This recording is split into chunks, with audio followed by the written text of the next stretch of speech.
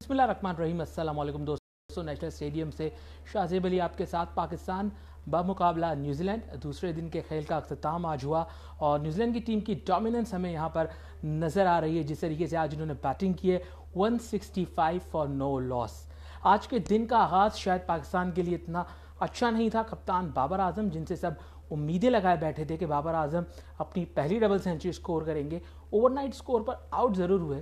लेकिन उसके बाद आगा सलमान ने इनिंग्स को संभाला। आगा सलमान ने अपनी पहली सेंचुरी बनाई। अच्छा खेले, तगड़ा खेले, कुछ शॉट्स ऐसी मारी कि जो देखकर वाकई में बहुत मज़ा आ रहा था। लेकिन आगा सलमान के अलावा कोई बैट्समैन इतना कंट्रीब्यूट नहीं कर सका। नुमान अली ने 76 बॉल्स खेली, लेकिन ज़्यादा रन नहीं बना सके। पाकिस्तान ने फिर भी अच्छे रन बना लिए चार सौ अड़तीस। लग रहा था कि न्यूजीलैंड जो है वो अबरार के अगेंस्ट स्ट्रगल करेगा। मगर न्यूजीलैंड एक तगड़े प्लान के साथ आया। इतने तगड़े प्लान के साथ आया कि अबरार हो, मीर हमज़ा हो, या फिर चाहे वसीम जूनियर हो या नुमान अली हो, कोई भी विकेट नहीं ले सका। विकेट बड़ी फ्लैट है ट्रैक बड़ा फ्लैट है। पाकिस्तानी बॉलर्स ने बड़ी कोशिशें की हैं, लेकिन बॉलिंग नहीं कर सके। अभी आगा सलमान प्रेस कॉन्फ्रेंस में आए थे, बता रहे थे कि कल रात से उनकी तबीयत बहुत ज़्यादा ख़राब थी। जिसकी वजह से वो आज फ़ील्ड में पार्टिसिपेट नहीं कर सके। हालाँकि उन्होंने बैटिंग की, सेंचुरी स्कोर की, लेकिन फ़ील्ड में आए तो उनको चक्कर आ रहे थे, वो वापस चले गए।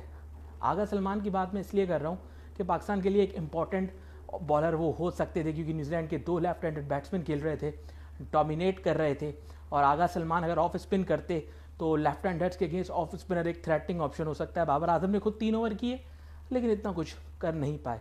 पाकिस्तान के लिए एक और मसला अबरार अहमद के हाथ में आज चोट लग गई थी फील्डिंग करते हुए, जिसके बाद वो जब आए तो उनके हाथ में बैंडेज थी और अंपायर ने उनको बॉलिंग करने से रोक दिया। तो अबरार ने बॉलिंग भी नहीं की। तो अब देखते हैं कि कल पाकिस्तान किस स्ट्रेटजी के साथ आता है। आज तो टॉम लथम और डिवेन कॉनवे ने वाकई में बड़ी ज़बरदस्त बैटिंग की है। अपना टाइम पूरा लिया है, लेकिन बहुत अच्छा भी खेले हैं। पाकिस्तान के लिए चैलेंज है। अब पाकिस्तान इस चैलेंज को कैसे कॉप अप करता है इस टेस्ट मैच में? ये देखना है।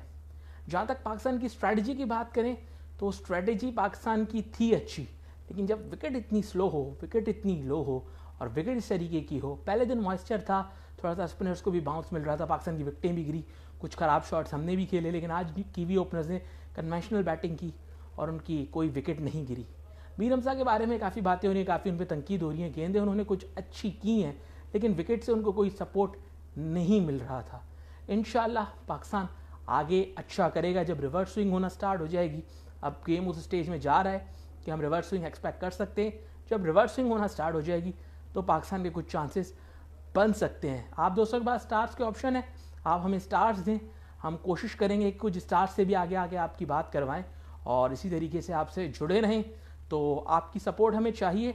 आप हमें सपोर्ट करें। हम आपको अपडेट्स देते रहेंगे। इन उम्मीद करते हैं कि कल पाकिस्तान कुछ विकटें ले और न्यूजीलैंड को बैकफुट पर करे और उसके बाद तगड़ी बैटिंग करे और इन इस मैच को जीतने में कामयाब हो। शाहजेब अली को नेशनल स्टेडियम से दीजिएगा इजाज़त। फ़ी अमान दोस्तों।